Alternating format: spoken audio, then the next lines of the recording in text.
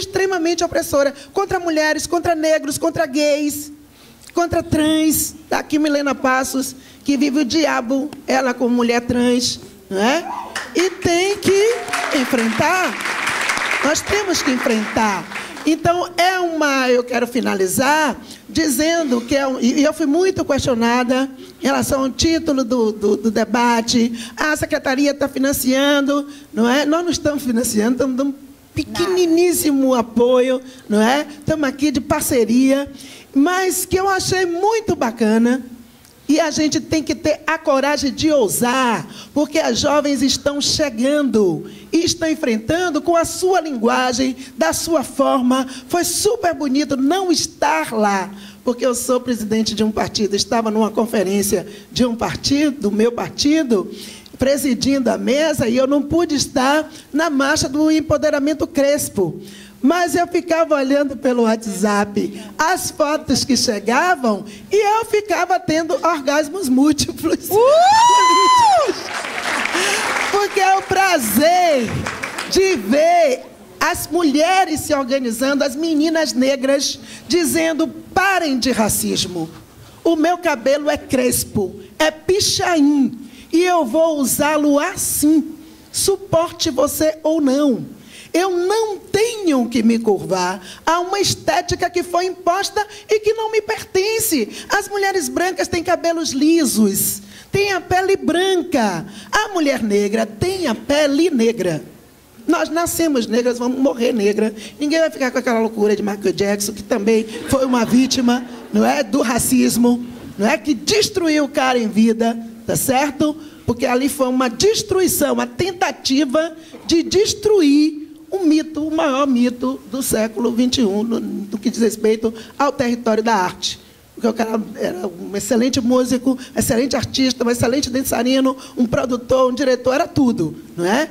E era negro e pagou o preço por sê-lo. Então não é fácil o que nós enfrentamos. E eu acabei me retirando, eu sei que meu tempo já deve estar esgotado, me acabei me retirando um pouco do lugar de secretária e me colocando nesse lugar de que, de que eu sou. Isso é o que eu sou.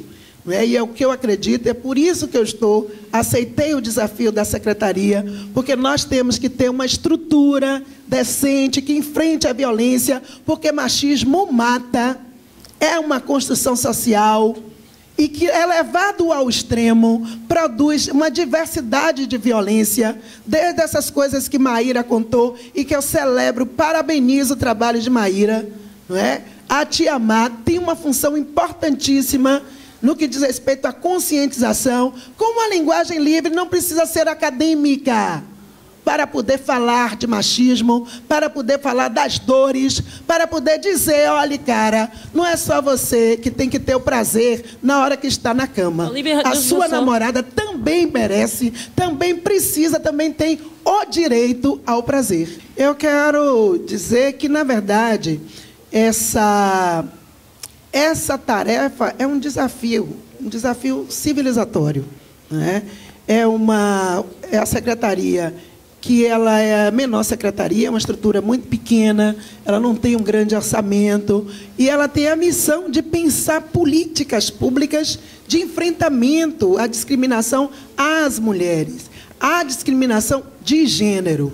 E dialogando com as demais secretarias, porque o nosso grande desafio é ter uma educação. Por exemplo, eu sou pedagoga, sou educadora. Educação é um território estratégico de se conquistar para que se pense diferente. Nós precisamos de uma educação para não discriminação. E nós tivemos uma derrota nacional com a votação do Plano Nacional de Educação, porque grupos religiosos, não é, obscurantistas se organizaram e foram negar o texto da, do, do, do Plano Nacional de Educação no que inseria a educação para a igualdade de gênero.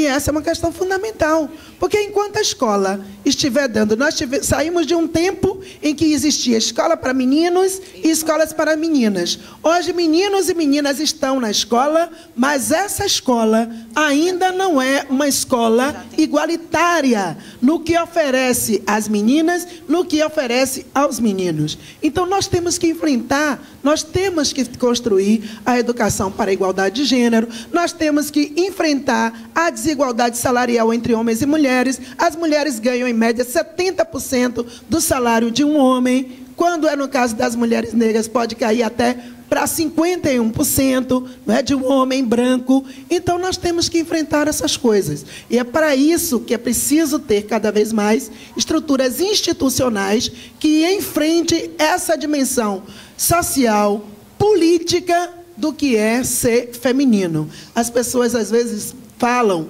e eu quero encerrar dizendo somente isso, que muitas vezes que a gente vai fazer uma palestra, a gente ouve muitas pessoas falarem assim: ah, mas por que se definir como feminista? Eu não sou feminista, eu sou feminina. E eu digo: eu sou feminista. Não, isso não significa que uma mulher que é feminista ela não possa pintar as unhas, ela não possa usar um batom, ela não tenha os desejos, não é? De estética que ela tem o direito de ter, o que qualquer outra mulher tem, não é? Porque, inclusive, é parte dessa socialização.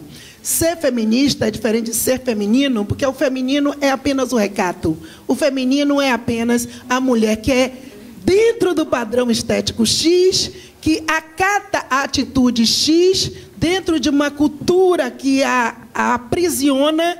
E ser feminista significa quebrar as algemas, quebrar as amarras e ir à luta. E é isso que eu acho que me define, que define muitas das que estão aqui. Forte abraço.